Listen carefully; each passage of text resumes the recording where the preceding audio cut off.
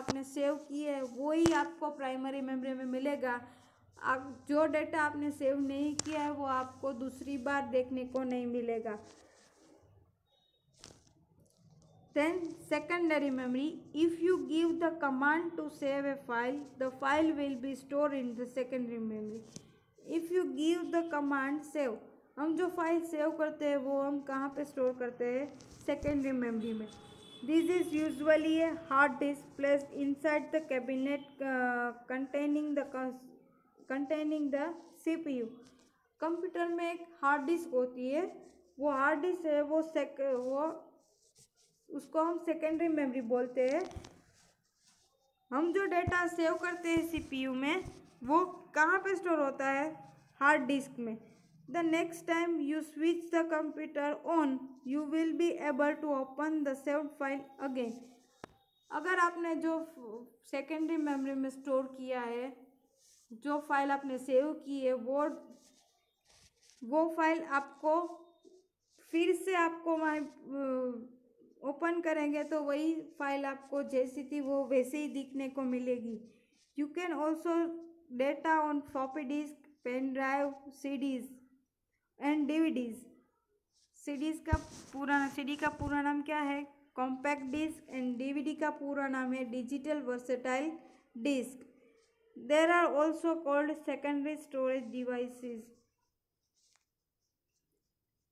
हम कंप्यूटर में hard disk के अलावा हम फ्लॉपी डिस्क है, पेन ड्राइव है, सीडी है, डीवीडी है, उस पर भी डेटा स्टोर कर सकते हैं। वो ये सभी क्या है? There are also called secondary storage devices वो हम क्या कहते हैं? सेकेंडरी स्टोरेज डिवाइसेस देखिए, आपको पिक्चर में दिखाया है, जो ए वाला है वो फ्लॉपी डिस्क है बी वाला है वो पेन ड्राइव है देन सी वाला है वो सीडी है। आपने सीडी और डीवीडी तो देखा ही होगा पेन ड्राइव भी देखा ही है फ्लॉपी डिस्क नहीं देखा होगा, वो फ्लॉपी डिस्क है, वो भी सेकेंडरी स्टोरेज डिवाइस है। देन नेक्स्ट शटिंग डाउन एक कंप्यूटर हम कंप्यूटर को शट डाउन कैसे कर सकते हैं, उसका स्टेप है। To shut down a computer do the following हम कैसे कर सकते हैं तो step one is click the start button computer में जो स्टार्ट बटन होता है फ़र्स्ट ऑफ़ ऑल वहीं पे हमें क्लिक करना है then step two a menu will appear हमें पूरा का पूरा वो स्टार्ट मेनू दिखेगा। Click on the shut down button उस, उसमें शट डाउन का एक बटन होगा। वो बटन हमें प्रेस करना है। A message appear setting that the system is logging off and the and then down. हमें एक मैसेज हमें एक मैसेज दिखाया जाएगा। सिस्टम द्वारा logging off and shutting down. हम शट डाउन का बटन क्लिक करेंगे, उसके बाद हमें ये स्क्रीन पर देखिए, शटिंग डाउन का मैसेज है वो दिखा दिखाई देता है।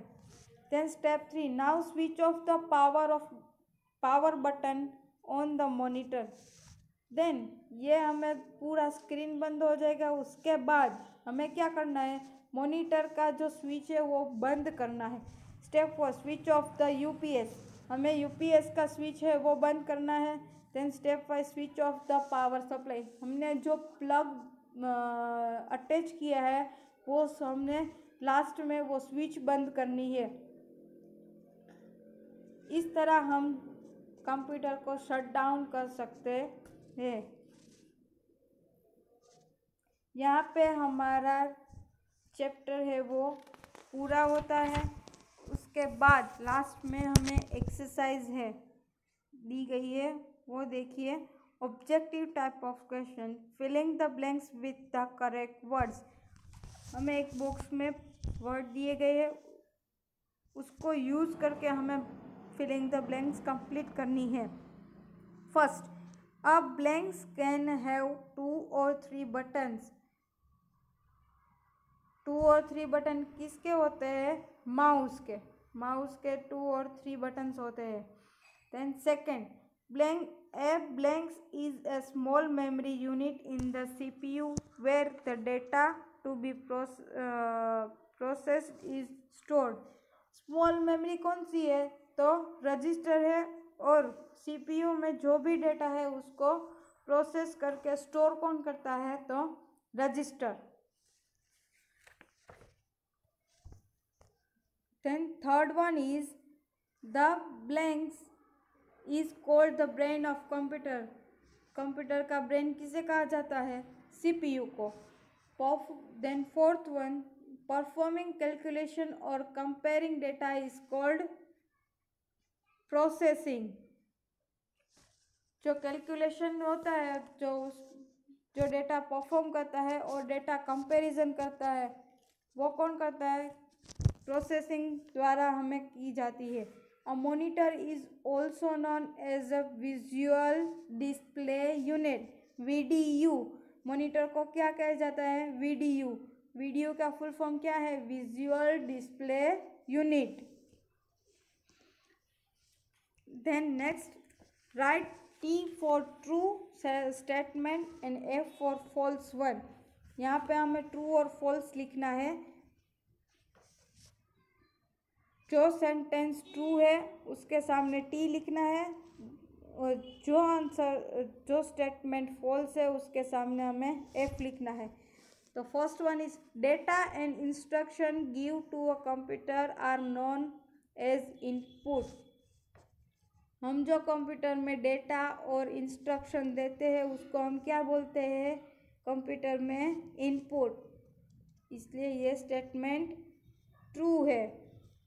तो हमने लिखा है T second one the output can only be seen on a monitor false because output output हमें मॉनिटर के अलावा हम कहाँ पे देख सकते हैं? प्रिंटर में भी। प्रिंटर द्वारा भी हम आउटपुट देख सकते हैं। Then third one output seen on a computer monitor is called soft copy monitor में जो हम दिखते हैं, कम आउटपुट दिखता है, वो हम, उसको हम क्या कहते हैं? Soft copy. तो ये स्टेटमेंट ट्रू है। इसलिए हमें टी लिखा है। Then fourth one a printer is an input device printer है, वो इनपुट डिवाइस है। प्रिंटर द्वारा हम कुछ भी एंटर नहीं कर सकते। प्रिंटर द्वारा हम प्रिंट आउट निकाल सकते हैं। इसलिए वो आउटपुट डिवाइस है। इसलिए वो स्टेटमेंट फॉल्स है। You can also save your work in devices such as a floppy disk CD और पेन ड्राइव आपका वर्क है जो को, वो आप फ्लॉपी डिस्क में सीडी में और पेन ड्राइव में डेटा सेव कर सकते हो। वो ट्रू है, इसलिए हमने ट्रू लिखा है। Then choose the correct option first one the result display on a computer screen is called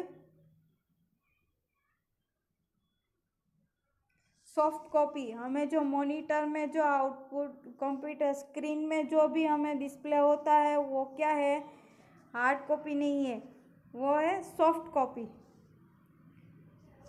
hard copy हम कहाँ पे मिल सकते है, वो प्रिंट आउट निकालते हैं उसको हम हार्ड कॉपी बोलते हैं, जो स्क्रीन में दिखता है, वो हमें सॉफ्ट कॉपी है।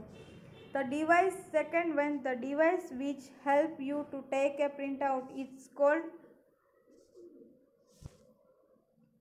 is the printer हम किस डिवाइस से हम प्रिंट आउट निकाल सकते हैं? तो printer through third one the blanks does all the arithmetic calculation option C A L U arithmetic logic unit the A L U does all the arithmetic calculations fourth one data enter into a computer is called input हम जो data enter करते हैं, उसको हम बोलते हैं input हम जो है उसको एंटर करते हैं, उसको अंदर डालते हैं। उस, इसलिए उसको इनपुट बोलता है और आउटपुट आउटपुट हमें बाहर कंप्यूटर की स्क्रीन कंप्यूटर सीपीयू में से अंदर जो डेटा प्रोसेस होकर हमें जो स्क्रीन पर दिखाई देता है, जो बाहर आता है, उसको हम क्या बोलते हैं? आउटपुट इसलिए data enter into a computer is called the input then fifth one the result given by a computer after processing the data is called the output the data the result given by the after processing data जो data हमने enter किया है उस पर process करके जो result हमें computer पर दिखता है कंप्यूटर स्क्रीन के ऊपर उसके उससे हम क्या बोलते हैं आउटपुट देन नेक्स्ट है describe descriptive type questions answer the following first one give the three example of output device कौन से है monitor printer and speaker then next one second question name the parts of cpu three parts of cpu alu arithmetic logic unit second one cu control unit. And third one is register. Name third question. Name the two types of memory in a computer. Primary memory and secondary memory. Fourth one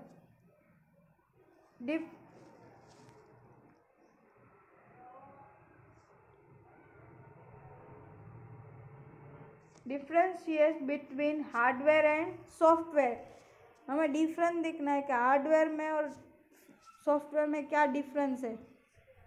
hardware can touch और feel hardware को हम touch कर सकते हैं और feel कर सकते हैं but software can not touch और फील सॉफ्टवेयर को हम टच भी नहीं कर सकते और फील भी नहीं कर सकते। Then fifth one give give the full form of the following first one is ALU तो arithmetic logic unit and B second one C U means control unit ये पूरी की पूरी एक्सरसाइज आपको बुक में लिखनी है। जो आंसर मैंने लिखा हुआ है, वो आंसर आपको, आपकी बुक में लिखना है। समझ में आ गया? और जो यहाँ पे फुल फॉर्म आते हैं A L U C U CPU आपको सबके फुल फॉर्म आपको याद रखना पड़ेगा। ठीक है? Okay thank you.